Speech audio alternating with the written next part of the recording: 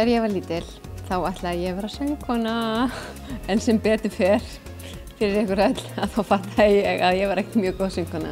Það fyrsta sem ég ætlaði að verða var hérna konan sem að er í tapafundi klefanum í sundlauginni. Það var draumastarfið mitt. Ákveðri. Það var svo lítill klefinn og mér finnst það eitthvað svo notalegur og fullt af svona sjampo og miðlum og eitthvað svona. Mér finnst þetta er ljótt að vera rosalega gott starf. Ég á nú engan iPod. Á þú? Ég á iPod, hlusta rosalega mikið á Beat It með Michael Jackson. En ég hugsa að mest spilaða lagið á iPodunum mínum væri með honum hérna Jason Mraz og Nei, það er eitthvað svona Beethoven eitthvað. já, ok, ég viðkynna það. Þegar ég var fimm ára þá unnu þau sem sungu þarna lagið Save All Your Kisses For Me. Ég bað mömmu að kera mér í bæ svo ég geti farið í plötubúð og kefti þessa plötu og það var fyrsta sem ég kefti ein í búð. Já, ég man, þú veist, einlega fyrsta sem ég man eftir er eiginlega bara neða, já. Mér finnst það geðvikt. Sérstaklega hérna, spórin, þú veist öll. Uh, ég greiti yfir auglýsingi í gær, halló. Fyrir matarolju. hérna tónleikarnir með David Bowie, 96 og hann tók bara nýju lögin svona svona og maður var svona, já, hann reyna að vera svona pósó. Svo tók hann Heroes og ég bara held að hafi snar liðið yfir mig, mér fannst það svo gaman. Þú veist, ég fatti akkurat núna hverju bestu tónlingar mínir. Og þú varst nefnilega með mér, mannstu með á Ævarar tónlingunum hérna á NASA, mannstu við heldumst í hendur og við næstu grétum þar og rosalega fallegi tónlingar. Ég man það ekki, vandræðilegt. Er það? Ég man ekki hvað er.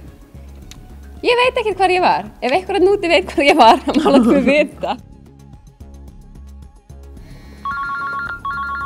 Til leðilegt. Svona típist. Ég verður svo falleg kona, gömul kona. Ég ætla nefnilega að verða svona þegar ég verð eldri. Það verið 92, Mia Martini og söng Rhapsodia og hún var Byrjar hún á alveg þessari sögu aftur? sjúkleg. Quanti casi muore nessuna carine, gli agoni muore, cantò in libertà. Ó, ég vorkinni svo börninu þínum þegar ég horfa á þetta.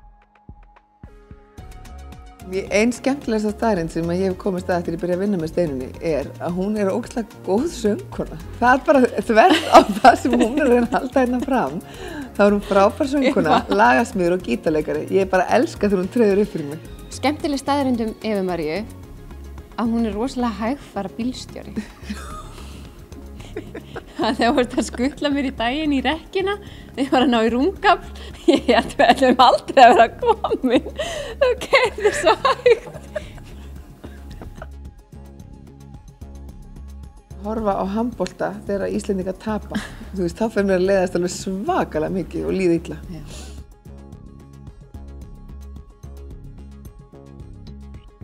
Show me your love. dreams.